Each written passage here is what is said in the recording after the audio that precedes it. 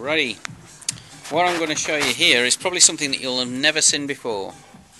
But what we have here is the power split device, right, from a Prius. This is actually from a Gen 1. So we have the ring gear, which we can see here, okay. And then in the middle we have the this is the pinion cage, so these are planetary system, and then jammed in the jaws of the vice we have the sun gear bit. Okay, and what I'm going to do is I'm actually going to make it work, not quite as it would do in a Prius, but you can see how the power transfers and how the revs change and everything.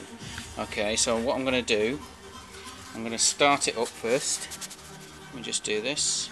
Okay, so here we have it running and as you can see so the lathe basically is connected to the bit that would normally be connected to MG1